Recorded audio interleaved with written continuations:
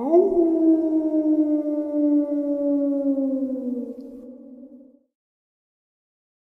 Greetings and salutations, everyone. I hope everyone is doing well today. Today, I have a very amazing interview, horrifying experience that is going to be shared with us right now. But before we get into it, a couple links. As many of you know, I rely on Patreon, PayPal, channel membership, and the merch to help the channel to continue to grow and go. Links to Patreon, PayPal, and channel membership is in the description below. Merch displayed directly under the video. Also, Dogman Frightening Encounters, Volume 1 through 3, the audiobook versions. They were written and researched by Tom Lyons, narrated and produced by me, Jeff Nadolny. Those audiobooks are available on Audible, Amazon, and iTunes, links to which are also in the description as well. And finally, last but definitely not least, if you'd really like to help support this channel to continue to grow and go, simply subscribe. It doesn't cost you a cent. Click that like button. Takes half a second.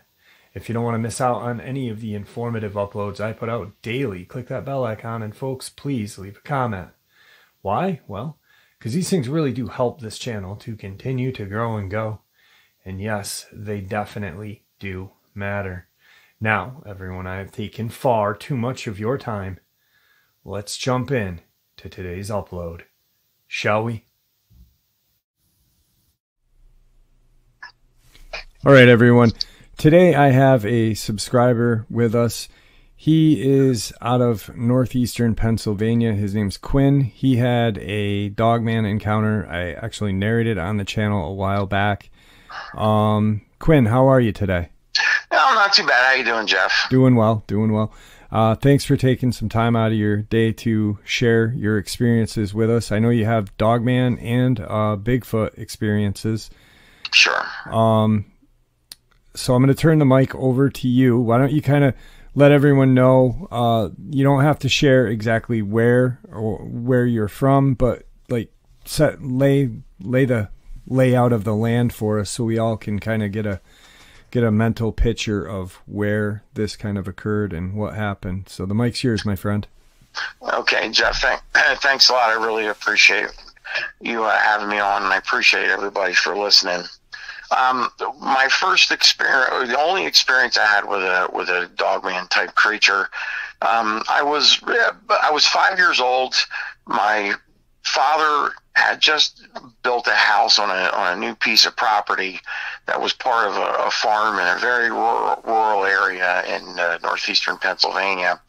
I'm actually in what's called the the Slate Belt, and he was we weren't moved into the new house yet, and he was uh, dri- he was driving me um, to the property to catch the bus um, to to go to school. Again, I was this was uh, in 1975 in September. I was a kindergartner, and as we were coming, now I'm going to give you some orientation, like north, south, east, and west, because it's really hard to describe how this happened without giving some you know directions. Right. So, so if you can picture, we're we're we're. Uh, we're headed westbound, and it's a it's a small country road. The property to the north had another road that was even a, a smaller country road that was gravel. So on the north, we were bordered by a small gravel road, and um, you know, on the south, it was a county road, and uh, that was paved. Um, it was the beginning of September. Uh, most of the foliage, everything had fallen off the trees. It wasn't super cold yet this year, but it was, you know, it was a, a very, a very temp, you know, temp, tepid uh, September. Um, as we were, we were driving, you know, westbound on on the county road that actually went was bordered to the front of our, our property where the driveway would meet it. Um, there there's a the, there's a Y there where the, the the backcountry road goes to the back of the property, and we're going straight. Um, as we're driving, my father pointed out that he saw something really large and black off to our right hand side, which would be to the north. And and he, he pointed it out and he asked me if I saw it or did I did I see that? And I said, yeah, Dad. Um, he said this something that's big and black over over there on the on the side of the property. Well, he saw it at, before I did, and then I looked. When I looked, it had crossed the the back gravel road and had stood up on the border of the fields and it was trying to hide itself between two mulberry trees. They were on the, the border of the field with the with the back road there. Now I want to just say this: it came down out of the woods, but the woods were where the woods were a uh, um, were where there were some retired slate quarries. This is the slate belt. So it was wasn't really a mountain, but it was where all the refuse and stuff had had been dumped, and the trees and everything grew up over it. And there was a guy that lived up there. He owned all all three slate quarries. It was roughly about 100 acres of property, from what I was told, but heavily wooded. So this large, you know, black wolf came down off the off of this uh, area from the woods, crossed the road on all fours, and then stood up in the fence row and tried to hide itself between you know, two mulberry trees. Um, the the branch that was closest to the top of its head. My father and I ended up measuring it at a later time, obviously, um, but it was over. It was close to 12 feet. So that when this thing, you know, stood up, it was almost 12 feet tall. Um, just for for reference, the animal did look like it had elongated front. It didn't look like it had paws. It, its hands appeared. Well, I say hands because that is what it, what it looked like.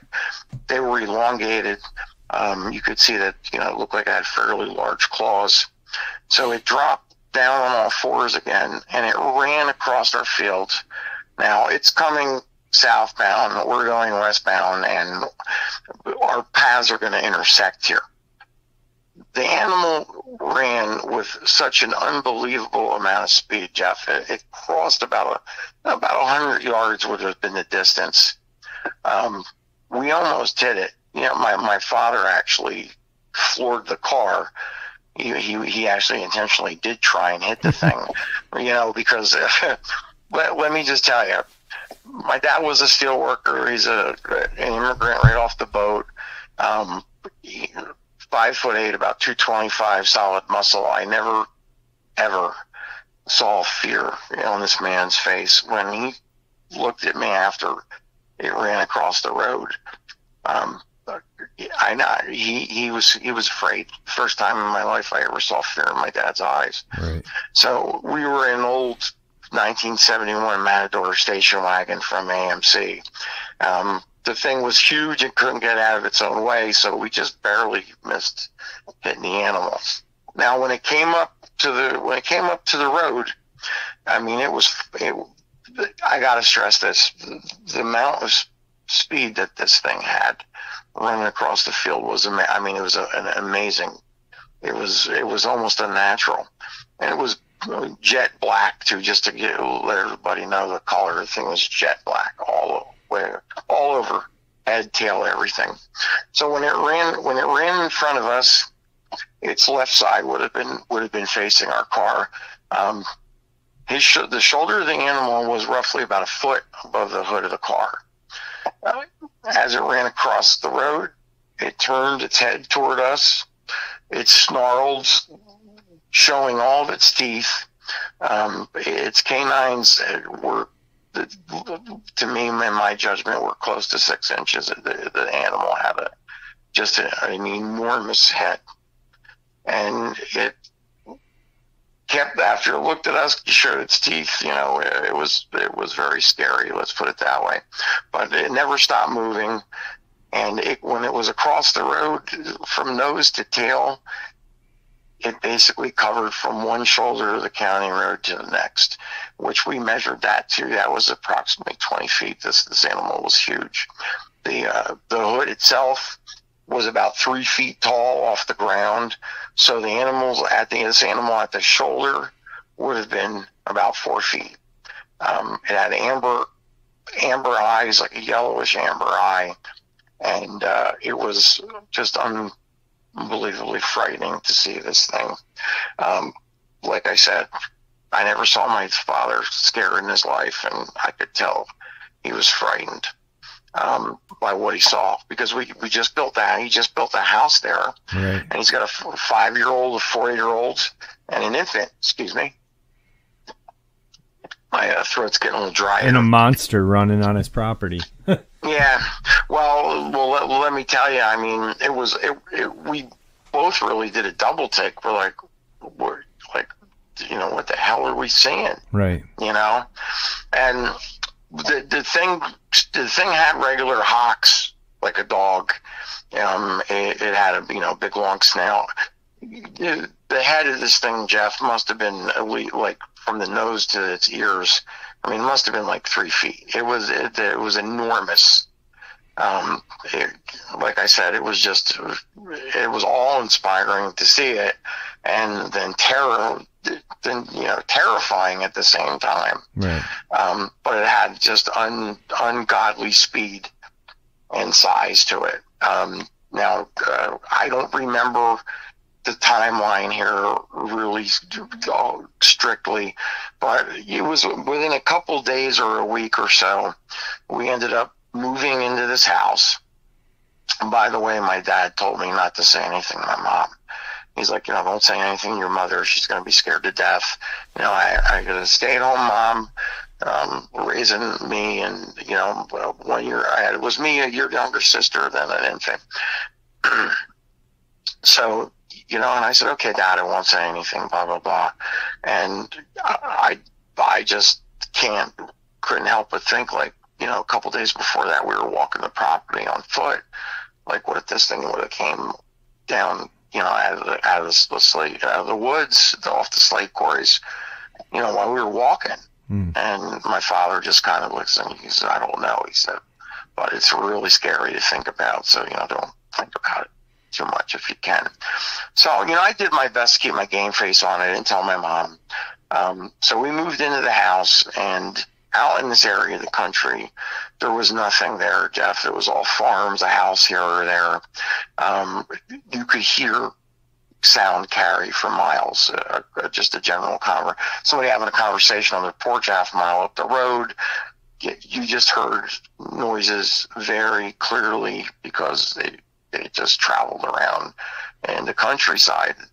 So, plus this guy was up higher than where my house was. He was up on on top of the the, the refuse piles. You know, it wasn't a mountain height, but it was, you know, a little quite a bit higher than than where our house was. Uh, you know, elevation wise. so it, it, was. We got like uh, an Indian summer after we had moved in. You know, we had the windows open one at night, and again. I remember this was a couple, you know, a day or two or a couple days. I don't think it was longer than a week. I think it was like just a few days. So we, you know, we're moved in. My father's working third shift. Um, I used to work at a Ingersoll Rand. He's working, you know, third shift, and he's uh, about a half hour drive away. And um, the one night, you know, we're all we're in bed. The windows are all open. We're, you know, I had to get up for school the next day, obviously. and the next thing you know, like World War Three breaks out. Um, it, it was gunshot. Actually, let's, let's I'll be clear about it. It was a shotgun. He had a 12 gauge. I mean, the, he was just ripping, letting loose with a 12 gauge, and he had uh, about a dozen guard dogs up there. Hmm. Um, I don't remember the mixture of the dogs, but 1975. Dobermans were popular guard dogs, shepherds, and you know Rotties and stuff like that. I don't know what he had, but I know he had about a dozen dogs because there was always people trespassing on his property. Um, you know, kids would go try one quarry hole had a beach even. You know, kids would go swimming back there, you know, without his permission. Um, there were accidents, unfortunately. A couple people did drown over the years because they fell into one of these uh, holes that was, you know, retired and they never knew that they were there and, and so forth. So, you know, he tried to keep trespassers away and these, you know, a lot of dogs and, you know, they were pretty vicious. You can hear them barking here and there, but um, I got to tell you this: this is the part that I have a hard time keeping out of my head. I mean, they were just getting slaughtered. I mean, you heard the dogs growling, barking. You know, you didn't hear idly enough. I don't remember hearing any kind of you know growling or or uh, anything that I thought would have come from that animal. Mm-hmm. Um, it's possible it did. Um, it's possible it did growl, but there was listen, there was just all hell breaking loose. You know, and between the shot, he's letting loose with a shot. I would find out later. You know, 12 gauge shotgun buckshot. Um, but his poor dogs were just getting, I mean, slaughtered. To, to hear them getting their getting eviscerated like that was just just awful. So my mom, you know, of course, is in panic mode right now. She calls the police. Now, where we lived, was very rural. We had one township cop that was on duty during the day, and in the evening, the state police took second and third shift. So the state police are the ones that showed up. Um, you know, the cruisers went, you know, went up his little road up the on top of the hill where he lived. And my mom called my father at work, and you know, of course, you know, frantic over what it, you know what was happening. And you know, my dad didn't come home early, but he came home at his normal time because the cops were there and everything was was settled settled down at that point. So my father came home the next day in the morning as usual time, and he went. Um, he you know informed us. My mom kept me home from school, by the way. Um, he he informed us that you know he's going to go over and, and, talk to the. We just call him the hermit to keep it, it, it simple. Up on the Slate Quarry Hill, he's going to go talk to the hermit and see what happened. So you know, he starts walking across our our field to go to the guy's driveway to you know to go up and see what what, what ended up happening. So he he um, as he's walking down there, I'm tagging along, but uh, he let me as soon as we got to the edge of the property, he wouldn't let me go up. He made me go back to the house. So he disappears, walks up the hill. Um, uh, uh, some kind of tactical team showed up from the Pennsylvania State Police. It, it was, I guess, their version of their SWAT team or something like that. Mm-hmm. Um, they went, they were parked on the road, and I don't know if they couldn't get their vehicles up the hill um, because the road was winding and really narrow. Um, I think some of them might have gone up, but um, very shortly after that, they landed their helicopter in our field. Um, you know, some time went on and so forth and uh, then a, a, lot of small arms fire. Um, you, you, know, you could tell it was, you know, I'm older now knowing what I know because I grew up hunting, fishing, shooting. You know, these were definitely right, high power rifle shots versus, you know, uh, versus a shotgun. Mm. And, you know, my dad ended up coming, you know, well, before that happened, um, before my dad came back down the hill to the house, the helicopter took off. It hovered up over the gentleman's property. Um, it lowered some kind of a, a net, you know, with some kind of grappling hooks or whatever. And when it when it finally ended up taking off, and there was something pretty large, and the net was covered up with tarpaulins or whatever something big was hanging in the net when they took off and they flew away with it. Um, my father ended up coming back down to the house and um, again, it's early in the morning. He just worked third shift. The, the, he comes and you know sits us down. He said, "Listen, the, the you know, police said we shouldn't really you know talk about this."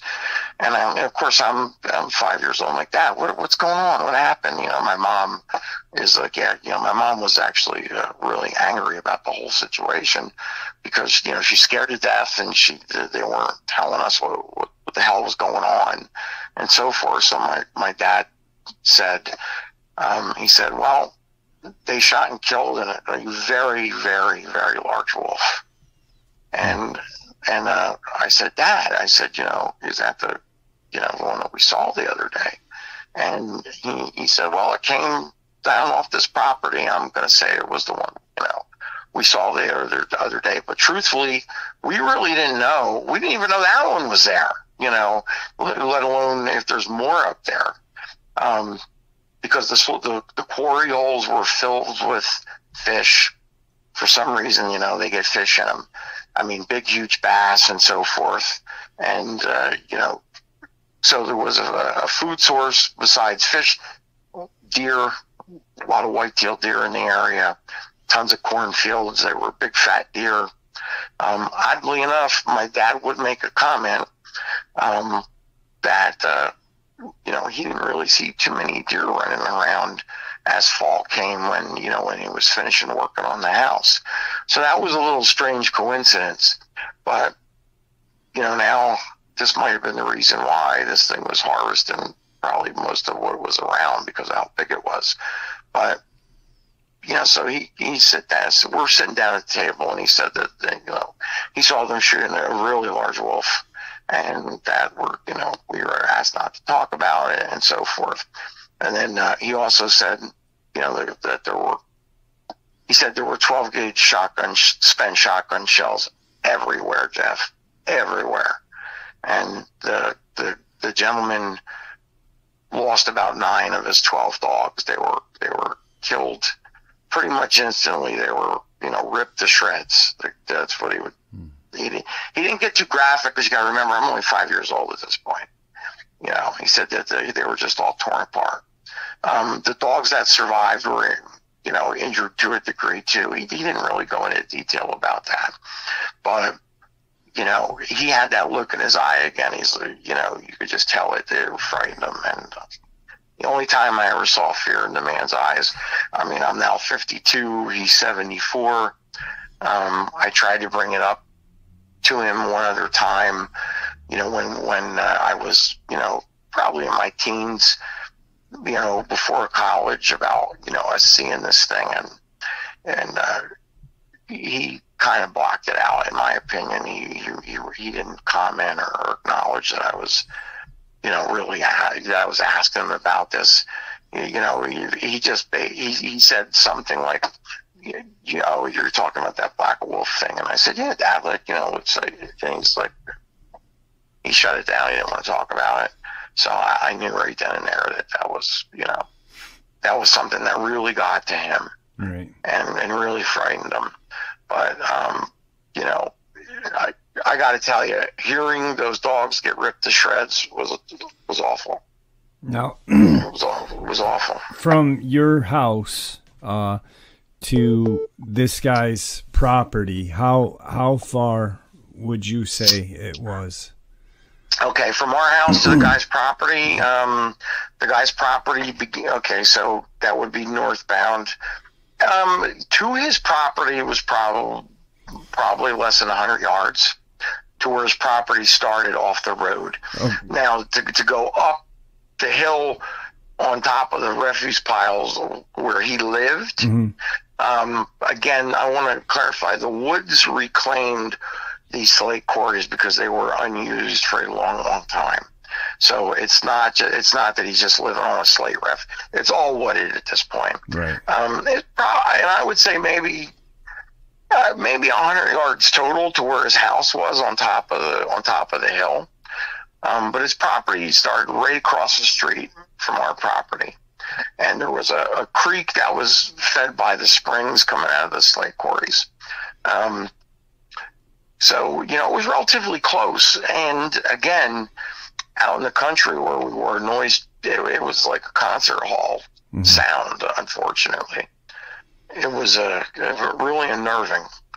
It, it, was really unnerving. I, I, I still sometimes get PTSD when, when I talk about this because uh, um, I got on a, a, a story. My, my son was my my wife is a mental health therapist, and and she had a, a piece of corrugated uh, pipe about four inches, and it and accordions open and closed.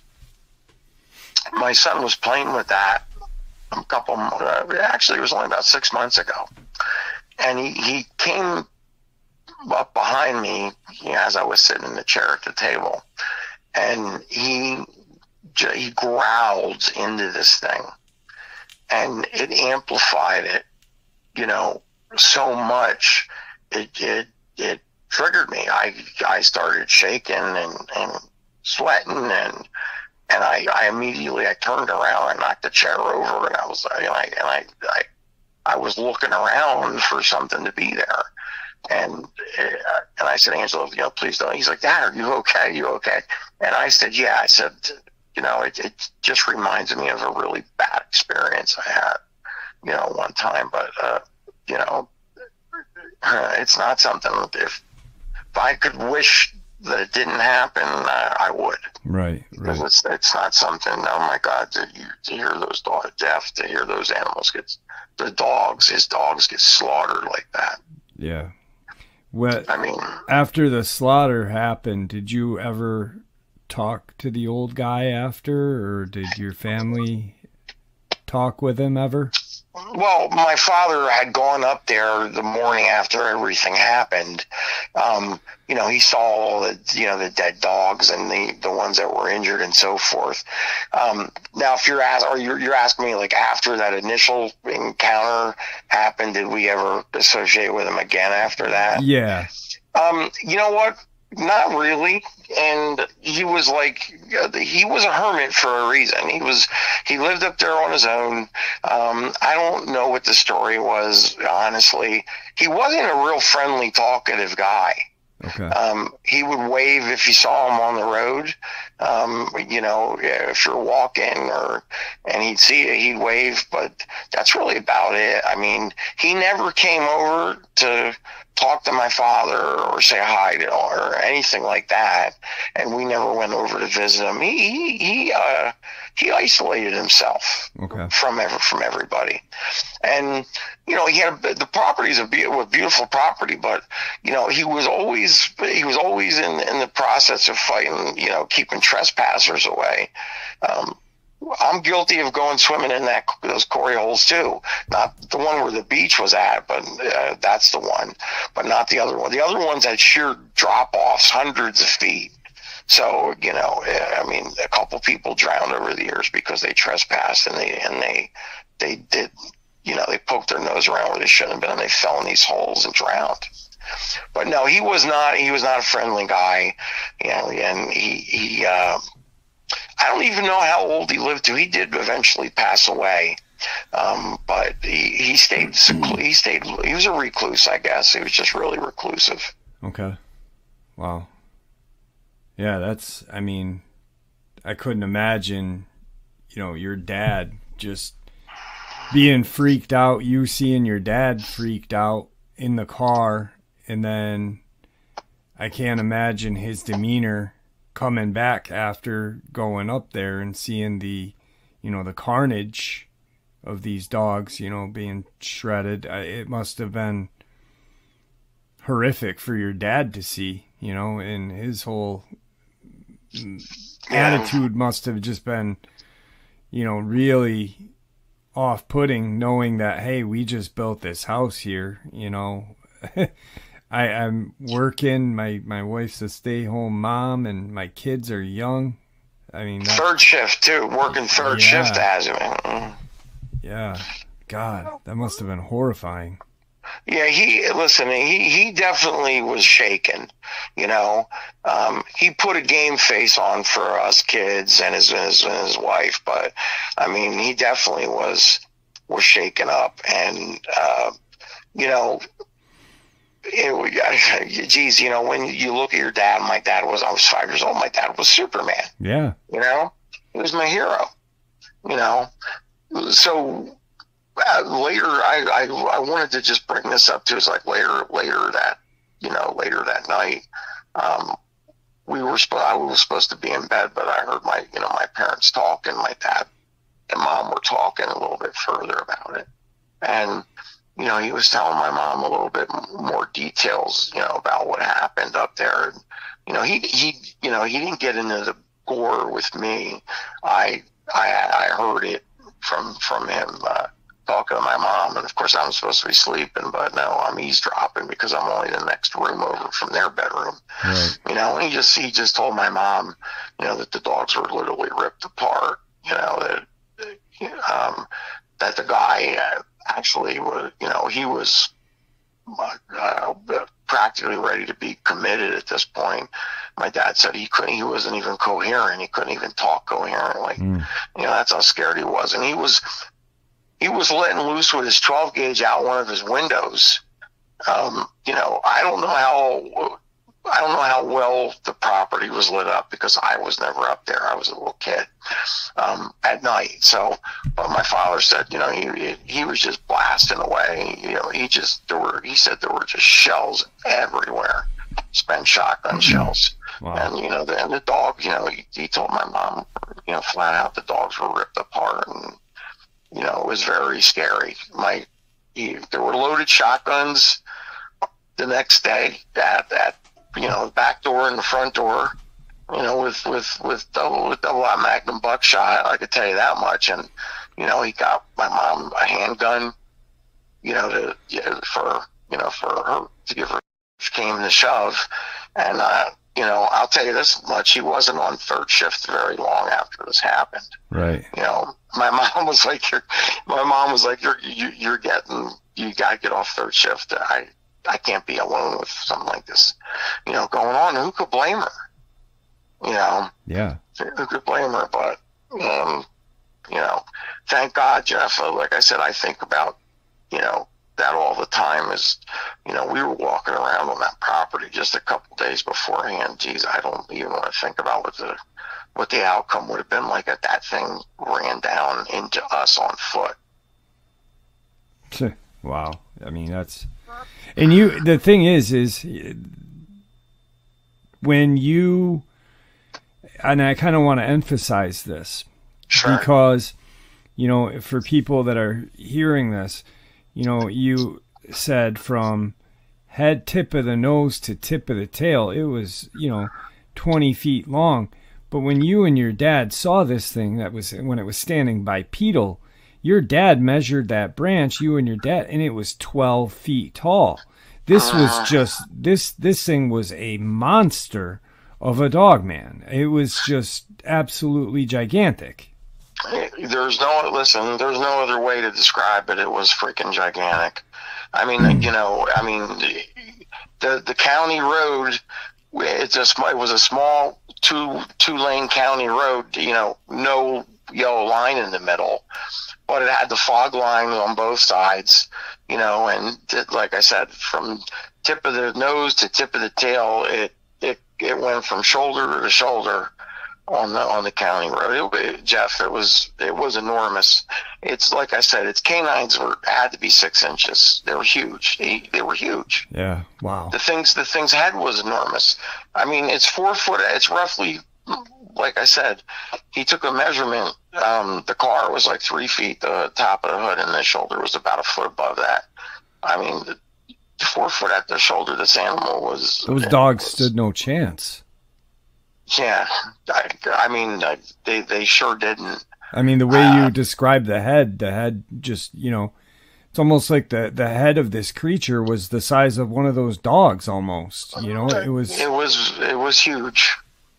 It's it's an incredible experience. I I wow, I cannot imagine being a father, you know, and you you being a dad now. I can't sure. imagine the just the uh, amount of fear and uh, regret. You know, I mean, there's got to, you know what I mean? Like, I can't believe we just built this house here I don't have money to move. We got to live this out. You know, it's just that's terrifying.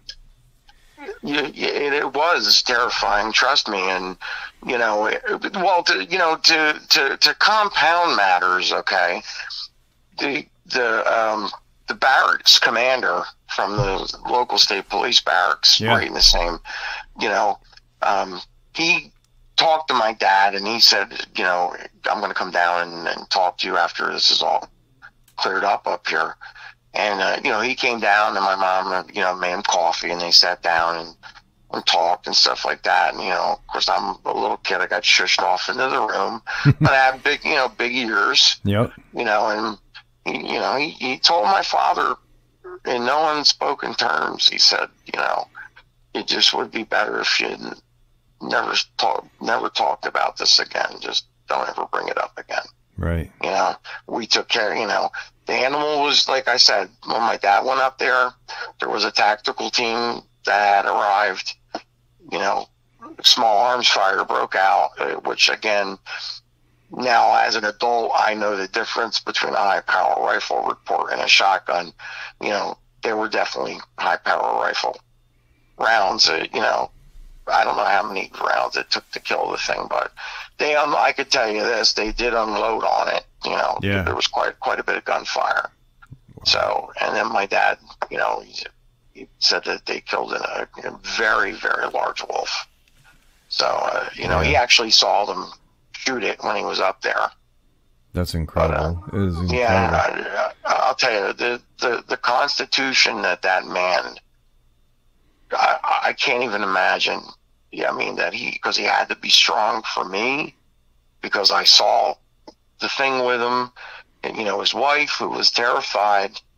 You know me also now after that happened. hmm You know, I, I was a I guess maybe you know it didn't quite tear me to pieces. You know at that age because you know it was still really surreal to me. Yeah, it's almost like you're not registering it. You know, it's Yeah, it, it, that's I couldn't have said it any better myself. That's exactly what I was thinking. That type of, it was like, you know, oh wow, it was a huge wolf, and it killed nine guard dogs, and they shot it with like however many rounds it took to kill it. The you know, um, the guy that owned the the, the hermit that owned the property. You know, like I said, I mean, my dad said like he was not even close. He was like not coherent when he was up there. Mm. And how could you blame the guy? yeah, There was there was some huge black wolf uh, tearing, you know, just tearing your dogs to pieces, and you're, uh, you know, he, I guess, you know, he was shooting out the window to try and hit this thing. I don't even know if if he hit it. I, you know, my dad didn't wouldn't, didn't know either, but you know, I don't even know if he hit, he hit the thing. I mean, he probably did because you know he's just shooting everywhere in the dark, and you know where he's hearing noises and stuff like that. hmm You know, uh, but I can't imagine what he went through. And you know, my dad, like I said, he had to keep a game face on, and uh, with me, it didn't. Like, you're right. I think that's how I would I, would- I would put it. That it kind of didn't register out the right. You know serious. It was very surreal at the time. Yeah. But when you know, I started, re- you know, getting into, you know, reading stuff about cryptids on YouTube, and I came across, you know, your channel primarily is what, you know, is where I learned, you know, what what I had actually seen, and and uh, you know, this was uh, about six years ago, seven years ago, so I'm like 45 at the time. And when I'm reading, you know, the research and the reports and the interviews, when I realized that this is what my father and I had seen, and I mean, I got I got PTSD from it. I mean, I, I was Mhm. shaking, I was sweaty, my hairs, the hair was standing up on the back of my head. You know, I kind of relived it to a minimal amount, but it's still enough. It, it scared the shit out of me. Yeah, yeah. Why You wouldn't it? Why wouldn't it? You know, I mean, I remember when I narrated that, and you know, I thought about how your dad felt and and how you know the family, your family felt. But I remember what I remember thinking about the old guy, the hermit, and and I was like, this poor man, literally went through hell one night, lost his dogs, but then had to endure, you know, the, watching this tactical team. So, you know, never in a million years would you ever guess that this would happen. This tactical team come and kill this enormous creature on your property. I mean, it, definite PTSD, and you know, it's almost and then he had to endure it mentally for you know however long he he lived after that is almost unbelievable you know? Just i couldn't i really was like wow this guy really went through hell multiple times within a 24 hour period of time. Yeah you got you got that right. Too too many wars pretty much. Yeah. Hmm. And you know again you know, the guy was an older guy. You know, again, he was a hermit. I, I, I wish I could give you more information, you know, about him or what happened to him after the incident, but I, you know, I, I just can't because number one, like I said, he wasn't friendly with with anybody. He kept to himself. He was very reclusive. Mm-hmm. Um, you know, he never came over our house for a cup of coffee. He never invited, you know, my parents over for a cup of coffee. He'd see you on the road when he drove down off the off his uh, off the hill he lived, you know, off the off the hill he lived on, and he'd wave, but that's it. He he wasn't a real social person. I mean, I I don't even know if he had any family that was kids or anybody. Um, that was able to come and you know help him get through this or, or whatever because I didn't notice any different cars or people or hear anything, um, you know, really. So I, I don't even know what happened. You know, what happened to the guy after all this went down? I mean, you know, I know he, I know he's long dead as of now. He was an old man back then. You know, so yeah. I, I honestly wish I could give you more information on that, but you know, again, like the whole thing was somewhat surreal to me because of my age and absolutely. And you know, after you know, learning about what I saw by, you know, listening, you know, to the videos and, and the, and the research he had done on, on this topic, it just, it hit me because it's something I kind of, you know, I kind of shelved in my mind for a long time. Yeah, it's amazing what our brains do to cope with, you know, things. We just really just, you know, uh, stuff things away and, and forget about it, you know, until we have that reminder or whatever. You know, it could be, you know, just a maybe you seeing a shotgun shell one day could have brought it mm-hmm. up, you know, or, or something, you know, and it's it's incredible that our brain deals with stress and trauma that way.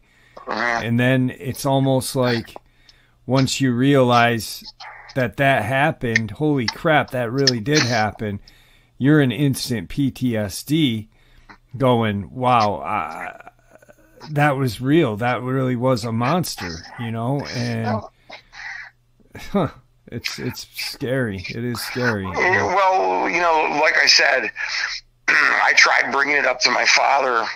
Um, you know, uh, uh, uh, years after that, you know, to, to give you some, you know, idea. I mean, our rural area, I was out, I would learn how to shoot I was knee high to a grasshopper, fish, hunt, you know, all that stuff. Going through life, and you know, my dad and I used to shoot rifle, high power rifle competitively as a father and son team, you know, doing these kinds of things.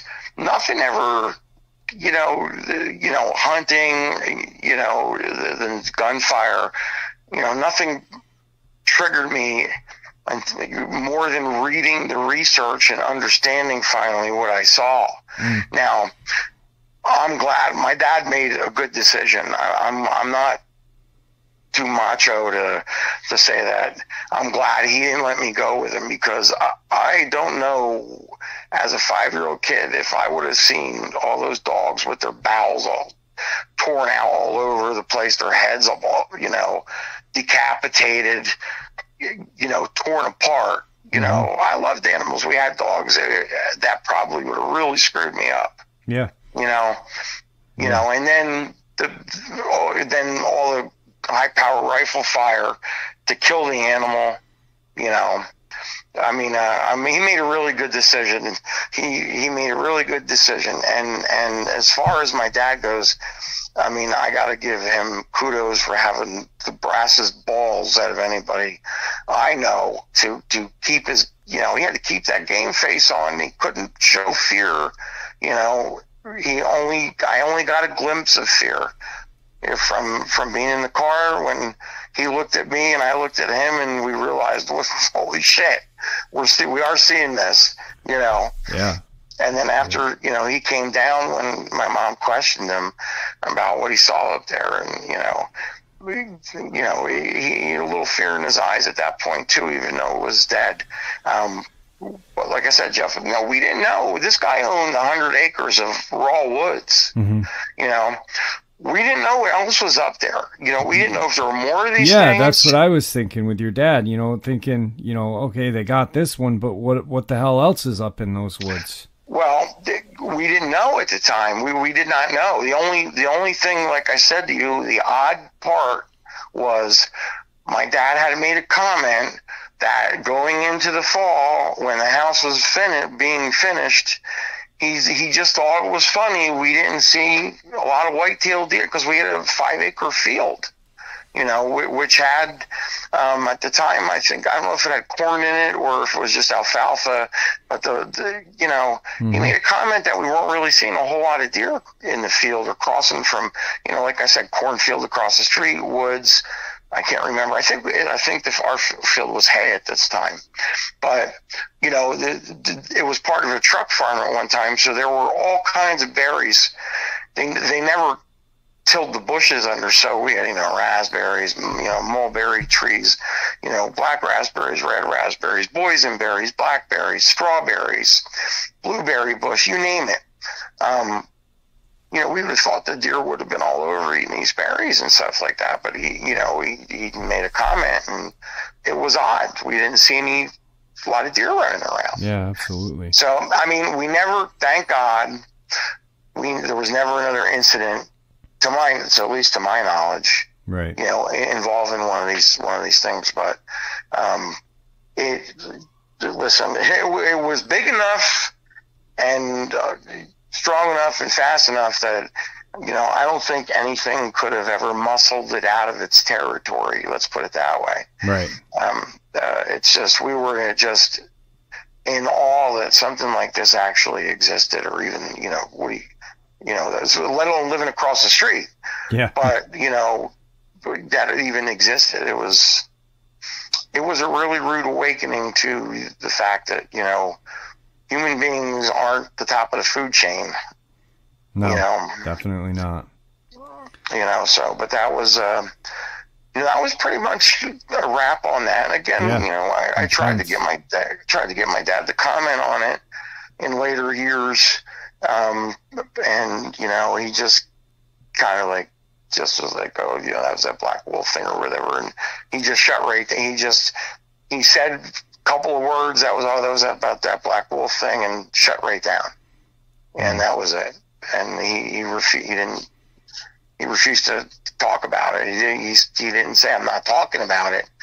He just he shut me down after he said that, and that was it. So I, I knew it was still I knew it bothered him. Right. You know. Absolutely.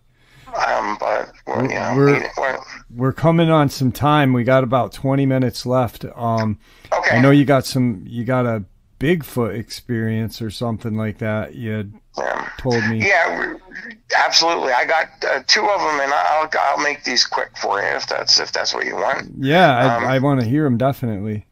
Okay, the, the first one, um, the first one, we did not see the Sasquatch. Okay, okay. my father and I, I was about uh, probably um, about thirteen or fourteen, and I was older than that, about sixteen.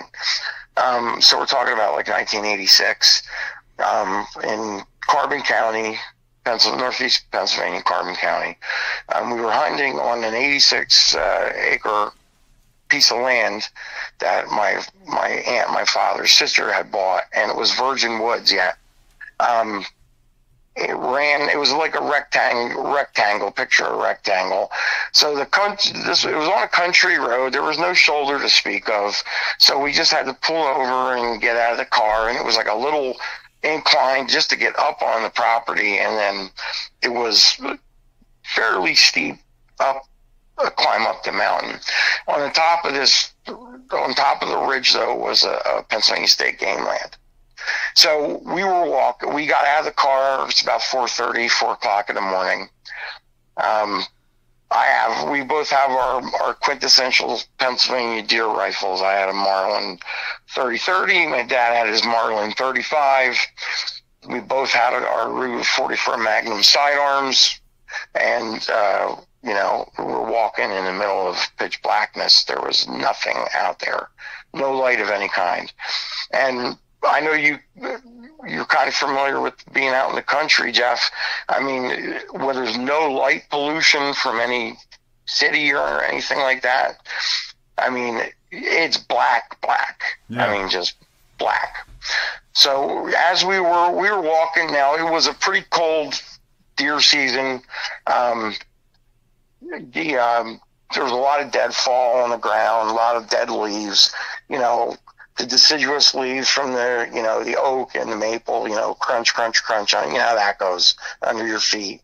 You step if you step on a dead limb when it's really cold like that a dead tree branch you know it snaps with authority. Yeah it's loud. It's loud as hell. So you know we're walking along and i said to my father i said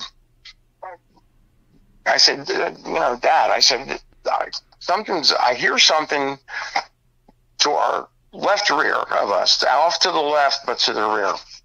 Because I'm, he's walking in front of me and I'm walking behind him. It's slow going. There's lots of rocks, a lot of dead tree limbs.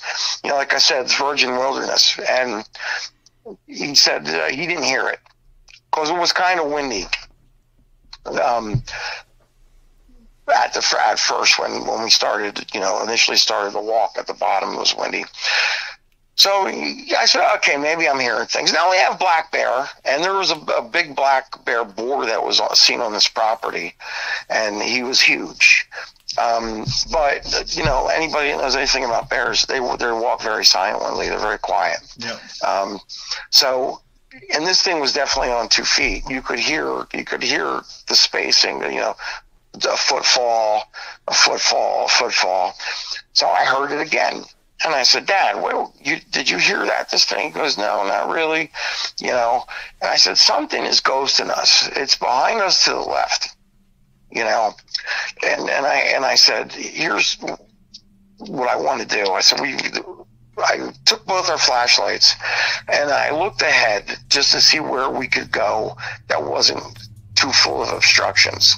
So I said, "That I just, you got to humor me here. Let's, let's run like 10 or 20 feet, stop, but run and stop. Something, something's definitely coming up behind us here. So we ran about 20, he, he placated me and we ran about 20 feet and we stopped. Okay the footfalls behind us did not stop when we stopped. So my little trick worked. And he said, now I hear it. And um, somewhere along the line, uh, a, a, pretty thick dead tree branch was stepped on and it, it was it had to be a big thick one but whatever stepped on it had to be really heavy like, to boot because it sounded like a bomb going off i mean it was very loud mm. So i you know my father obviously heard that and and I said, Dad, I said, there's something really big coming up coming up on us over here. So he's like, well, you know, what do you want to do? You know, and, and he looked a little concerned, but not very. He was still trying to push it off that it was, he was like, it's just a bear, just a bear. And I kept telling him it wasn't a bear, but you know, so there were there were three trees in the area we were that were real close that were right next to where we were at. So I said, let's go over there put our backs up. There's a tree in the middle, can't get through you stand back here with your back against this tree. Now stand with my back against the other tree. We'll face ourselves down the way this thing is coming. You know, and I and it could have been a person. He said, you know, you, could be a person who's looking to rob us or something like that, which I never thought of. But I said, but I said, you know what? There's no freaking way that that was a person that stepped on that branch because you could tell Jeff was way too big and thick when it, the way it broke. Right. It was extremely loud. No human being would have been able to, to do that. So I call. I said uh, I'm going to call out. There's nothing else left to do. So I drew my 44 Magnum, and I said to my dad, I said, "You're better off having your 44 Magnum at the ready. That's more powerful than the rifles that we had." You know. Mm-hmm. So I called out. I said, "Hey, is there anybody there?" You know, and the footfalls didn't didn't stop. I said, oh, "Please stop and now announce yourself. You know, we're armed. We don't want any trouble. We don't want anybody to hurt.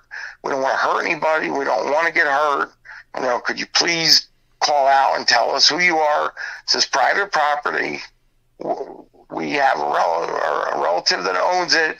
We're allowed to be here. You're not. So please stop and call out. That didn't do it either. So after I got done you know, saying my little spiel there to try and get the person to speak up, which I got to be honest with you, Jeff, I was hoping it was a person at this, you know, yeah. I, even, even though there's no way it was because how loud that tree branch broke. So um, then something really scary happened. The footfalls went from a from a slow walk to a, a all out run you know, a full bore run. Mm-hmm. And you could tell whatever was coming through the woods was huge. I mean, it sounded like a bowling ball. What, what a bowling ball would sound like if you were whipping it through the woods. I mean, it was, you know, there was all kinds of things breaking. You could hear things in. So I, I, I said, Dad, I'm gonna, I'm gonna let a round go. So he said, aim it high so you don't kill so. So you know, I got my four, I had my 44 Magnum out. I aimed tree, you know, not quite treetop height because I didn't want it to go too far. And I ripped off a round for my 44 Magnum, my Ruger Redhawk uh, 44 Magnum. The footfalls stopped, and I said, "Please stop or announce yourself." You know, I was I was really you know, announce yourself, announce yourself. I you know I just I just shot a bullet in the air at you. You know, and the footfalls didn't they didn't stop but uh, i mean they stopped but they didn't start going back toward us again when you know after i let the shot go they came to a stop and then i tried to get them to call out again and they didn't. And i said okay you know you're gonna you know we're armed. You're gonna get shot if you keep pursuing us. And they actually you know ended up going the other direction. I guess I guess I figured that you know they didn't they didn't want to tangle with us at that point since we met, you know. But you know, it was I I could tell you whatever it was was definitely thinking it over, like what to do because it didn't turn around and run away right away. Right. You know, I was asking for somebody to call out, please announce yourself, because we didn't want to hurt anybody and we didn't want to get hurt. Um, but that's I'm positive that had to be a Sasquatch because of the noise of the branch when it was broken, um, just the heavy footfalls. I mean, maybe I'm not, I could be incorrect. Maybe it wasn't, but it was bipedal for sure.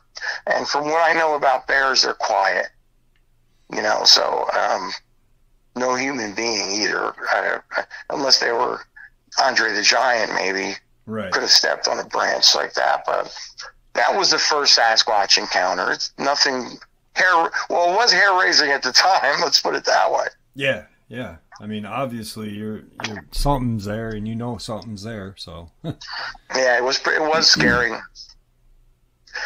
It was scary at the time, and you know, you kind of laugh, you know, laugh at yourself, you know, a little bit, you know, because you have to to make yourself feel a little better, feel a little bit more, uh, you know, like you, know, you don't want to sound like you know you were scared shitless, but you really were, you right. know. Absolutely. Um, the other sad, this is the second Sasquatch encounter I have. That, that this one is pretty scary, actually. Um, so at this point, I'm 22. I'm uh, it's 1992, and my Bradford County. Uh, west of Towanda, about 20 minutes. Um, and uh, it's 350 acres, and it's right off of Route 220. Um, it runs straight up the mountain. Again, you can picture it as a rectangle, basically. Um, not, it's not quite that pure of a shape, but from the county road, it goes all the way up the mountain to where the state game lands are at in this area too. It was logged out um, quite a while ago, and um, you know, so they were logging. You know, there were skidder roads everywhere where they logged out the, you know, the valuable hardwoods and stuff like that. So my my current uh, my mom's brother um, was the legacy to own the property from his uncle, but my great uncle, my mom's, uh, you know, great uncle, so to speak. I'm trying not to confuse everybody. has such a big family, but but but anyway, so the, the lodge is like a big. It's like a Viking lodge. It's it's cinder block, modern. You know, it looked like a, bar, a military barracks. It was you know, like 100 feet by 40 feet, a big cinder block building. Uh, you know, you walked in, you had a mud room where, of course, there were there were beer meisters everywhere. It's deer camp. Right. You know, first day of deer camp in PA. You get drunk and play uh, poker all night long. Yeah. So uh, I, I really was never a big drinker. So, but I, I did play a lot of cards you know, so we we have a couple work weekends, one in the spring and one in the fall. So I had gone up and and participated in the work weekends. So my my room, uh, I mean, uh, my meals were all free for for participating in the work weekend. Um, and if you did them both, you got free board. You know, for the first uh, week of deer season. So if you did them both, you got free room and board for the first week with you know with your food. So, um, my, uh, you know, my uncle, we went, uh, I don't know, it's a mile or two. Um, you go straight up the mountain, and then the the first branch off where the the logging road is, the first one you come to, and you go all the way. You know what? I'm sorry, I don't know distances, but I went to all the. I went probably about two miles total from the cabin okay, um, up the mountain and then across the property. So say north first and then west to the end of the logging road. My my uncle had two deer stands. He had one there and he had another one that was about another half mile up the up the up the ridge. So the the you know he thinks he's building skyscrapers here. To, the, this deer stand, Jeff, is like 20 feet off the ground. No kidding. um, at your feet Okay, and it's in it's in a bir- it's in the crotch of a birch tree that has three prongs to it. Okay, so I tied my gun up to the to the rope that you pull it up with, so you don't shoot yourself. And you know, I climb up in this thing, and it's still dark, mind you. So on the on the on the logging road side, it's like 20 feet off the ground, but on the opposite side where it goes over the ridge, it's like 50 feet off the ground because there's like a kind of a real good drop off right there. Mm-hmm. So I'm up in this thing, and this thing, I feel like I'm on a damn amusement ride because it was very windy. Okay, and and and this this thing is just shot shove it's shoving around, shoving me around. You know, it's moving one way, moving the other way, moving this way, and I'm like, I'm like, I got to get off this damn thing. I'm going to get thrown out of the deer stand and get killed because I'm getting, I'm, I'm going to get thrown out of the deer stand. You know, which happens. A lot of people do die from falling out of their deer stands. Mm-hmm. You know, and this was very windy, and I was sober. Very, I was 100 percent sober. Didn't even have, I don't think, anything to drink the night before. Um, was just playing cards. And, uh, you know, so I tied myself to one of the tree to one of the offshoots around my waist, so at least I wouldn't get thrown off the damn deer stand. But it was like I felt like I was on the I, on the ocean, and I'm like I, I got it. I don't get motion sickness, but this was it, this was more annoying than than you know anything. So I lowered my rifle and I climbed back down. I I I was told, you know, by the the the, the board, well, the the old we call them the old the old guys, the ones that were the you know the board and everything that kept everything running, paid the bills, and kept the property. That at the end of the logging road on that side of the property, that that would have been the uh, east side of the property. um, there that there was like another hundred yards till you got to the boundary of the next hunting lodge's property. And you know there were marked, there were posted markers. So you'll see posted markers. You'll see, you know, oranges. They had it. Uh, they had the barriers um, on trees where you could see where it ended. You know, it was either posted signs or ribbons or I forget exactly. But now this is all like virgin forest. So I'm I'm walking. I'm going to say north, say northeast. So I went up the ridge as well as across the ridge to the east a little bit. So I'm going like northeast, and it's it's virgin woods. I mean, the rhododendrons are 12 feet tall. There's mountain laurel all over the place. The, the, the you know, the the, carn, the coniferous trees are, you know, the the temperature and the light coming in was actually, you know, um, I'm, you know, I'm having a brain fart here. How to put this? The light coming in from the sun was actually inhibited because the trees were so everything was so thick. You know what I mean? Yep. So it was it was mm-hmm. the temperature dropped. It was a little cooler um, in this area. It was a little darker. I mean, it, it, you know, it, it felt kind of creepy, and I had to bushwhack a little bit too. Every, you know, as I'm going through, there's vines and sticker bushes, and you know, all that kind of stuff. The the the bush that the guy made Velcro from, from those little things that stick. You know what I'm talking about? They stick all over you. Yeah. You know, so you know, I'm. I finally got to a place where I felt comfortable. I saw a couple of deer trails and there was a big tree. Now the deer trails were going up the mountain to the north, and then one wide to the east and one wide to the west. and if you can picture above the letter Y, there was a big tree, and I sat my ass down right out in front of that big tree, and I was about twenty or thirty feet from where both of these uh, trails emerged, you know, out of the brush as I'm looking down the mountain in my ride, I had a 30, my 3006 with me with 180 round nose. Um, you know, that's what I brought because I was going to be in the brush. You know, uh, you know, so I didn't bring a, you know, a, you know, like a, a more ballistic tip bullet or higher power shell. But if I would have known what I known, I would have had my seven millimeter Magnum with me. Um, you know, for for this incident, but you know, hindsight's twenty twenty. Right. So I'm, you know, I'm look. I looked through my scope. I saw some deer coming up. They crossed the road and were going to come up the mountain. Um, there was a about uh, six or seven, and there was a, a, nice big buck in there, and the, the you know the does were leading the way. And as I just you know, I got patient. I had deer lure, buck lure. Um, I don't know if you ever use that when you were if you ever went hunting and you used buck lure. No. But it's basically doe piss. Yeah. Excuse yeah. my language. Um, uh, I inadvertently kicked it and knocked it over, and it I stunk like a skunk. I mean, I had it all over my boots and everything like that. And uh, the wind, interestingly enough, was I was down. Uh, down the mountain was down when the wind was coming down over the over the ridge. So I'm like, oh boy, the, the, the deer are going to catch my scent.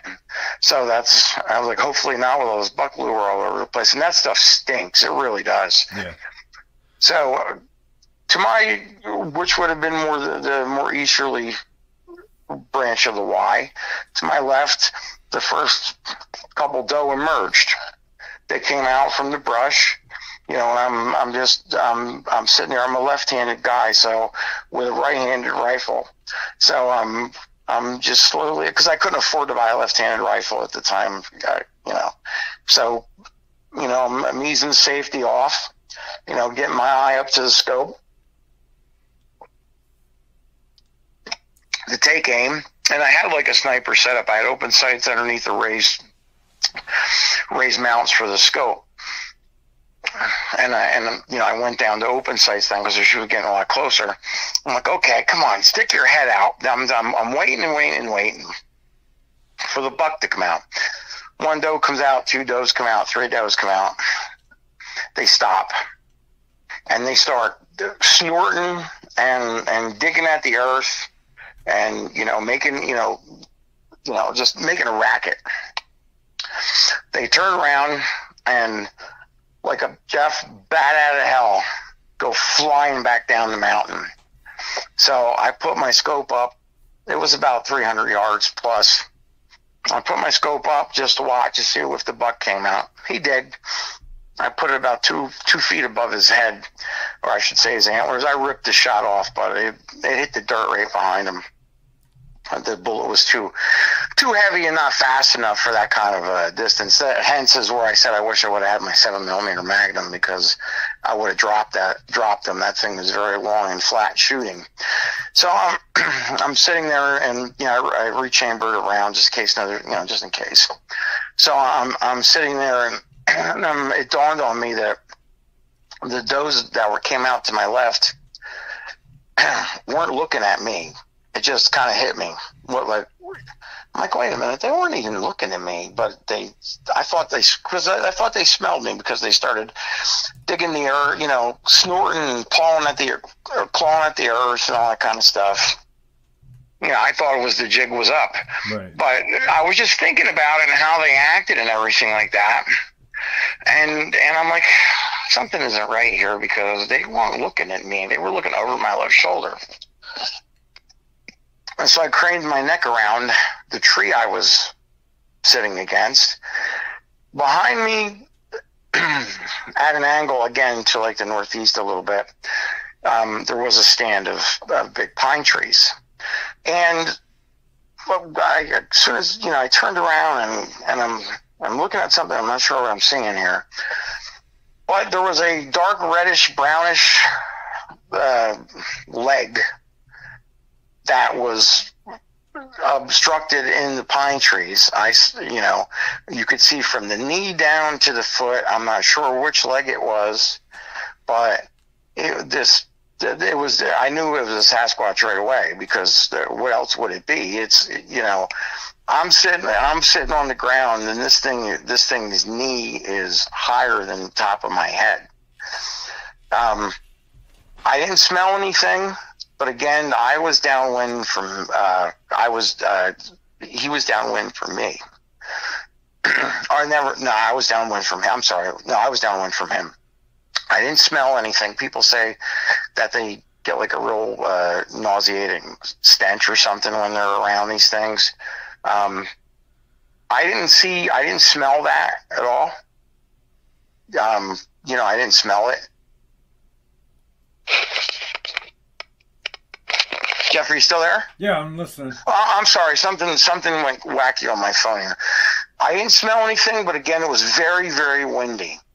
Um, you know, it, its its hair was, you know, you could see it was blowing around a little bit from the wind, and it would had like a, a nice you know, like a golden glisten to it and everything like that. And, and I'm, um, you know, and uh, Jeff, I got to tell you, this thing's leg looked like it was almost as thick as the friggin' tree, tree trunk. I mean, it was, it was, it was enormous. It was very large. Right. All I could, you know, all I could see was a basic shadow, you know, uh, up in the, up in the trees that, and where it was hiding. Um, and like I said, I only saw the side of its leg from like the knee down. And I don't know what, you know, how big it was or how it got there. It could have been there already. I don't know if he was sleeping there and, and I didn't see him there because I came out in the dark, you know, or if he snuck down the mountain, you know, um, looking for food Right. Because I know that there's there's also a couple big bears there on top of the mountain up there though in the game lands. There's caves and there's caverns. There's caves where some of the bears hibernate, but there's other caves in the area and stuff like that. Me personally, I think he came down off from the state game lands. Honestly, probably living in one of the caves up there. Yeah. Um, that's what I'm assuming. Do you think uh, he was you know, following the deer down? I, I would say he probably came probably came down looking for a meal. Now here's here's the part that troubles me, and I want to see what you think. Okay. Yeah. I don't. I, I absolutely do not subscribe to the fact that these things sing kumbaya and play the flute with you when you meet one. Okay. Right. Um, were a food source for this animal. And what ended up what ended up happening was when I turned my neck around and, and I saw his you know his leg there, and and he he definitely knew that I saw him because what happened next ne- nearly uh, you know made my heart stop. The next the next thing I I know is I, I you know the thing it, it, growl, it growled, screamed, whatever you want to call it it let a hell of a, a you know, I'm going to say it was more of a growl than a scream, you know, but it was very loud. I could clearly hear it, even though it was windy. And the son of a bitch started shaking the shit out of the tree he was standing, you know, behind. So I'm like, okay, you know, I, I had unholstered, slowly unholstered my, my 44 Magnum at this point. I thought for everybody out there who's going to criticize me about this, I thought I was about to die right. because it, it, this it was not. There was nothing friendly about this, nothing at all. Yeah. You could tell it was highly agitated and angry. I don't know if I was supposed to be the meal. I don't know if he was going to mm-hmm. steal one of my deer if I shot one. You know. Yeah. But, but the deer, the, the food was gone and I was the only thing left there. So I, I thought, honestly, in my heart, this thing was about to kill me. You yeah. know, he, he probably he probably would have stole. If I shot a deer, Jeff, I think he just would have stole it and got and, and and been done with it.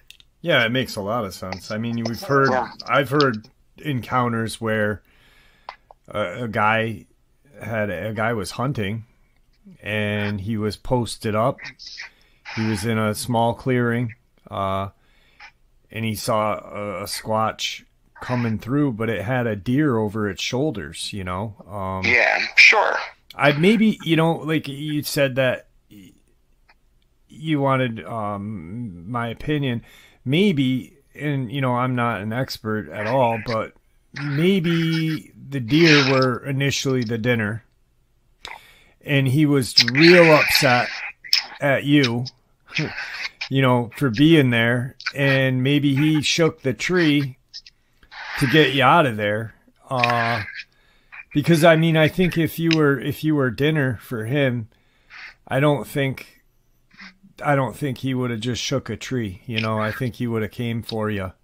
Because I, you know I don't think they're friendly at all, and I don't. I I'm with you, and I've always been this way. I don't subscribe to the fact that Dogman, Bigfoot, werewolf, whatever, are misunderstood and you know they they they just want to be friends. I don't believe that they want to be friends, and uh, you know I think that it's uh you're a lucky person if you get out of the woods alive if you see one.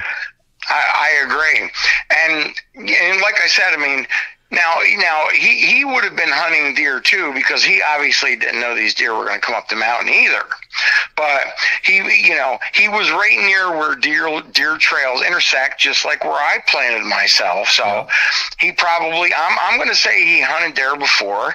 He probably came back to, you know, you, you you go with what you know and what you're comfortable with. He could have very well swiped a few deer from there, you know, and and and that's it. And nobody in the hunting uh, society uh, ever brought ever brought it up. So here's the, here's the I think honestly, if I wouldn't have been armed, I think I would would have. I think he would have killed me because he, he was go, he was going nuts.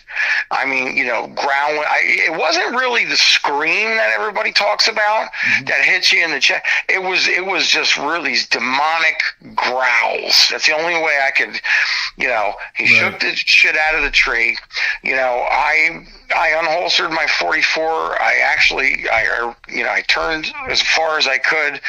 I actually you know was at a real bad angle, but I didn't want to expose myself any more than I than I had to because I felt he was going to charge me. I, I just turned around and I unloaded with the four, with my four, with my 44. I I ripped off all six shots in his direction. I did not aim at him in, intentionally. Mm-hmm. You know, but I, I, shot all six shots out of that, and I had some under uh, uh, Buffalo Bore 350 grain overloads in that thing. So um, those things, they probably would have taken him down if I hit him all six times. But again, I did not aim at him. I aimed at off to the side of him, and that was part partly because I didn't want to expose myself. I didn't know what he was going to do you know. So I didn't want to stick my head around the corner and have him pop it off my body. Yeah. You know. So I did that. I turned around, took a knee, reloaded my 44 Magnum, put it back in my holster. Uh, you know, I sat there with my 3006 chambered and just listened. You know, eh, I mean, he definitely he, he took off like a bat out of hell because I heard I heard him running. I heard the carnage. Okay, at first but then it stopped almost as quickly as it started. And again, it's very windy. Okay, and I'm in virgin forest here, so now I got to go. I got to go about 100 yards back to the main logging trail through all this stuff that I have. I'm, you know, I'm bushwhacking through. So I just, I'm going to be honest with you. You know, I prayed and I prayed and I prayed because I didn't think I was ever going to get out of there. You know, I, I, I, I had my handgun in my hand, my rifle swung over my, my back, and I was just trying to get through that stuff as quickly as possible. I got back to the trail. You know, I took a knee, I took a knee again and I just listened to see if I could figure out where he was because it was so windy, Jeff. I couldn't hear anything other than when he first bolted. You know, yeah. when he first bolted, but it stopped almost right away. And and I don't know if it's because he stopped. You know, maybe he was afraid I was pursuing him and was going to continue until I killed him. He might have thought that. I mean, I just unloaded a 44 Magnum toward him. Yeah. You know, I don't, I don't know if he thought he was going to get killed and he, he stopped to hide, but I don't know because I didn't see him after that. But I, I got to the logging road where the skidder road. And like I said, it was roughly about a mile out to the main road that the trail, these are trails, I should say, that went down the mountain to the cabin. So I never ran so fast in my life. You know, I, I, I was like, I was kind of stopping and listening to see if I could hear noise. I heard some branches breaking and, and here and there and in the background, but again, it was so damn windy you know, I know some of it was probably him, but uh, you know, it was hard to hear anything. And I just was happy I wasn't hearing, you know, a, uh, a, a, thousand pound bowling ball running through the woods next to me. Yeah. You know, because my, you know, I was like, that's why I had my 44 Magnum out and my rifle slung over my back because I figured he's going to ambush me on this trail the, the handgun's going to be much better weapon of choice, you know, if that happens. Yeah. So thank God I got out to the main trail where the meadow was at, and I ran down um, the hill the rest of the way. I had, you know, I, I had a, a, a little bit of a breather right there. But in the meantime, we all have walkie talkies. Everybody had to have a radio, and or you, the, you weren't allowed to hunt. You had to have a radio. So you know, I'm ripping, I ripped all those shots off.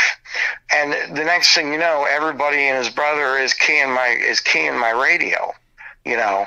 Right. So, so my, my uncle's like, Mike, are you okay? What's going on? Hey, did you get, you know, everyone's like, hey, did you get the deer? You know, did you get him? Did you get him? We heard the shots. We heard the shot. And I'm like, no, no, I missed, you know, blah, blah, blah. And, and I, and I just said, Uncle Ray, I'll, you know, I'll talk to you when I get back well, when you come back down to the cabin, right? And I shut it off because I figured I don't want him honing in on me if he's going to hear that, you know? Yeah. So I got back to, like I said, the meadow and I ran down back to the cabin. All the old timers were in there, you know, telling their war stories, cook, you know, they did all the cooking and the cleaning and, you know, and, and I, and I, I got back in there and they're like, man, what was all the shooting? Did you get your deer? Blah, blah, blah. Um, Jeff, I was so angry at this point. I, I said, you know, I just looked at these guys and I said, no. I said, I didn't get a deer. I said, how long have you? I don't want to use keep using profanity, and I forgot about you. This is going to be on your, your. I apologize for the swearing. Yeah. It just brings out emotion, you know, the emotions in me. But I was like, how long did have you guys known about this thing? and they're just looking at me like, what are you talking about? I said, don't give me that stupid look on your face. You know, how long have you guys known that that freaking thing was living has been living up on the mountain up there? And I said, I just had a run in with that thing, and I don't think I would have made it out of there alive. Okay, the deer was probably going to take. I ended up chasing away by accident. Yeah. Okay, I shot it one, missed it. This thing is right behind me, roughly about thirty feet, and it's growling at me. It's shaking the tree. I mean, Jeff, the shadow. I could see somewhat of a shadow outline in the in the in the tree from this thing, from where he was standing. I, I can't even imagine how tall this thing was. Like I said, he was his, his knee was above my head. I'm five ten, so when I'm sitting on the ground, you know, I mean, I don't know. I would say he was at least ten feet tall. Right. Yeah. You know, and he and he was probably a bit of a thousand pounds. I mean, like I said, that leg of his looked like it was as, as big as the tree trunk. I don't mean to cut you off, but we are Yeah. definitely coming up on recording time. Okay. Did they say anything to you after that? Did they? No, they, they, they, they just, they all laughed and smiled and stared at each other. Okay. I knew, and I said, and don't act, you know, and I said, and don't act, you guys act like you guys don't know what I'm talking about. I said, you know, I, I thought, I thought I was going to lose my life up there today. Right. And then finally, one of them said, listen, it's never hurt anybody. It's never killed anybody. You know, just don't shoot at it again or try and kill it. You know, it's been here since the cabin, since the association started. So one of them finally cracked and told me, but don't say a word. I'll deny everything I just said to you. Keep your mouth shut. Yeah. So I have not been hunting since then, Jeff. That should be a rule. You know, that should be one of their rules to just, if you're going to be a member of that, they tell you up front, but it's got to be kept. You know what? What stays at? You know, I, I always oh. at hunting camp. It was what happens at hunting camp stays at hunting camp. You know. Yeah. So- Well, and, and they said he came down off the mountain. They said, oh, he lives in one of the cat cavern caves up on in state game land. He comes down off the mountain looking for food. You know, he never hurt anybody. He goes, just don't shoot at it again. You know, Right. You know, well, thanks for telling me after Yeah. as an afterthought. You know, Yeah. Listen, um, I just want to make sure that I I don't mean to cut you, but we do got to end um because I only got about an hour and a half recording time, and we're about three minutes short.